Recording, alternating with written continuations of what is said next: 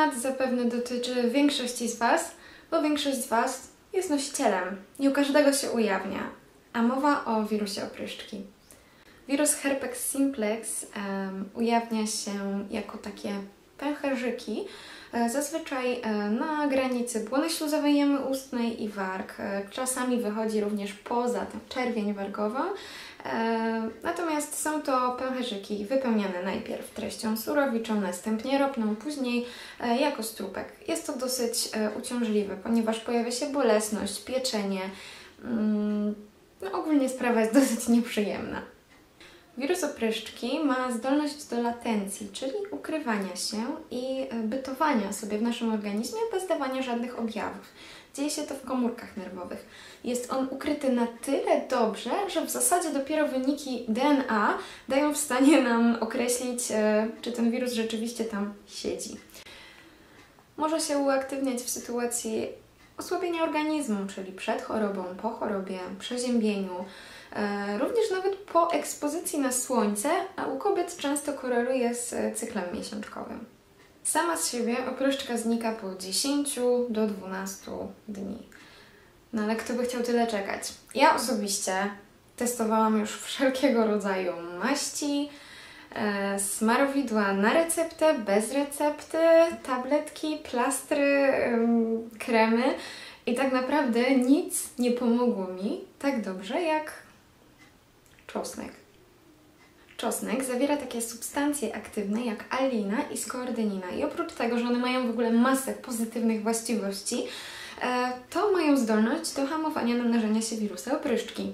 E, w przypadku stosowania miejscowego działa najlepiej. E, jak ja to robię? Po prostu przekrajam ząbek czosnku na pół i przykładam do miejsca, które jest zmienione. E, najlepiej zrobić to zanim jeszcze pojawią się pęcherze, bo bardzo często jesteśmy w stanie wyczuć taki lekki ból już nawet 2-3 dni e, przed pojawieniem się pęcherzyków, no a zazwyczaj jeden dzień to jest takie typowe.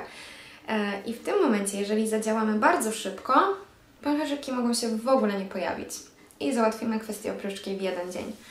Jeżeli już niestety się spóźnimy, to wtedy będziemy musieli te 3-4 dni przecierpieć. Co i tak jest tak naprawdę najszybszym sposobem, który ja osobiście znam.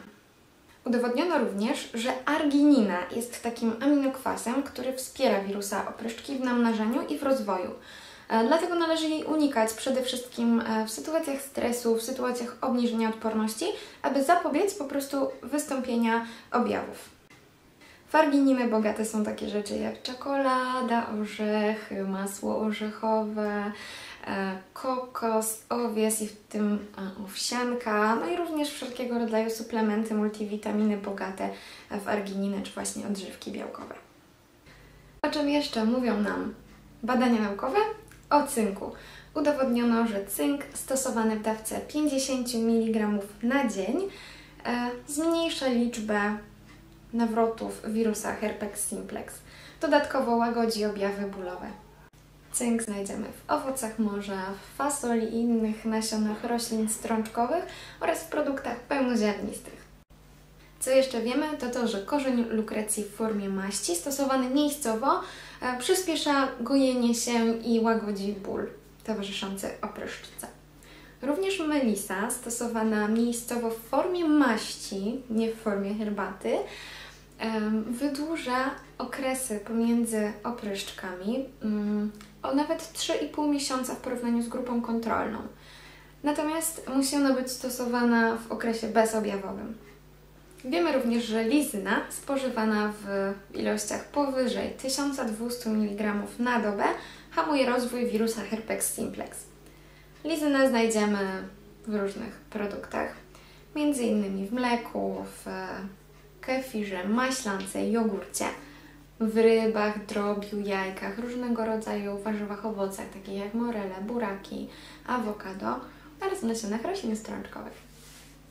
Ostatnia ważna rzecz, unikaj stresu. Stres jest bardzo dużym czynnikiem ryzyka, jeśli chodzi o wirusa opryszczki, ale nie tylko.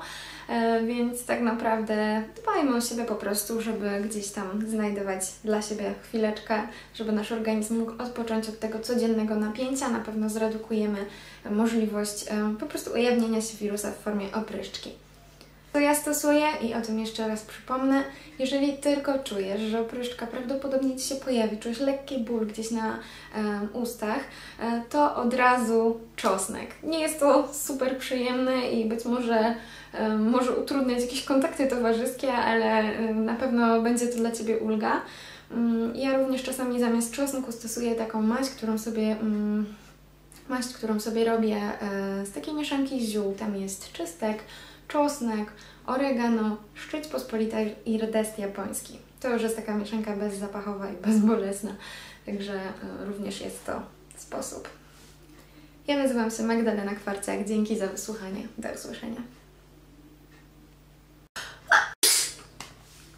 To właśnie przy obniżeniu odporności może pojawiać się opryszczka, także stąd ten filmik.